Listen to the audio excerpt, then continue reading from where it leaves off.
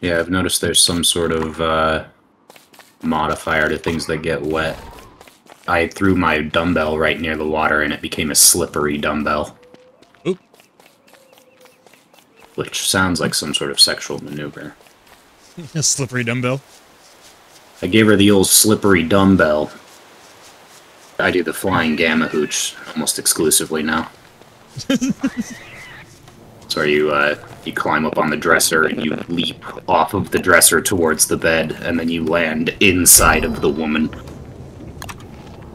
Impressive.